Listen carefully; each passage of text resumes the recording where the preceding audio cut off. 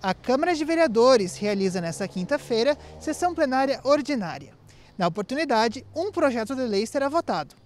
Esse projeto denomina Unidade de Saúde Maria Ribas Denardim, no bairro Passo da Areia. Esse projeto de autoria dos vereadores Ovidio Maier, Wanderlei Araújo, Maria Aparecida Brizola e Ademar Possobon.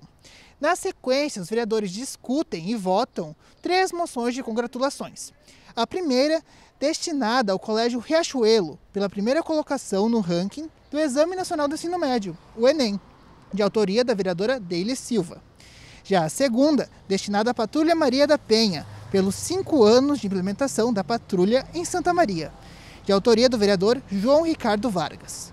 E por último, moção de congratulação destinada a Rogério Gomes dos Reis, pelos 30 anos de serviços prestados ao Sindicato dos Empregados no Comércio de Santa Maria.